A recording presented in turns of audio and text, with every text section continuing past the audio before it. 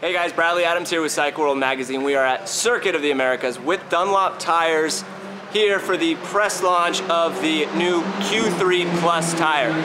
Now I've got to admit, I'm a fan of the qualifier lineup. Everything that Dunlop has done with this tire has been fantastic over the years. The evolution from qualifier to qualifier 2 to qualifier 3.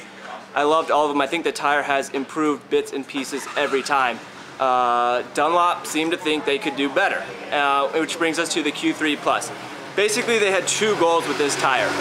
They wanted to increase mileage, and they also wanted to get a little bit more performance out of the thing on the track, specifically in the rear tire, that dual compound tire out back. Now, like I said, I was a fan of the Q3. I thought it was a great tire, a great kind of all-purpose tire, guy who could ride on the street with it, go to the occasional track day with it. But uh, this tire really is, it is better. Dunlop has accomplished what they're trying to with this tire. We went for a street ride earlier. Uh, same great feel. I liked the, the bump compliance of the carcass. Wasn't too stiff of a tire. Still overall good ride quality.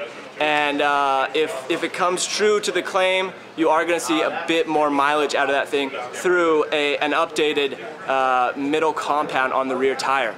Now, the real big thing for us today was getting out here at Circuit of the Americas on a pair of CBR 600 RRs one equipped with the Q3 and the other with the Q3 Plus. This was an eye-opening experience for me. You think, you think Q3 and you think, it's not, do I really want to go to a track day with it? But I tell you what, I just got off this Q3 Plus and it really is a fantastic tire.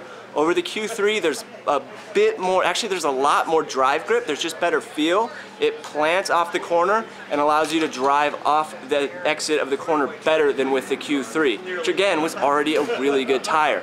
Uh, with the updated compounds, I did feel even a little bit different feel at corner entry. Just overall, it changes the dynamic of the motorcycle. I think it's a more well-rounded, well-rounded tire, and overall a massive improvement over the Q3.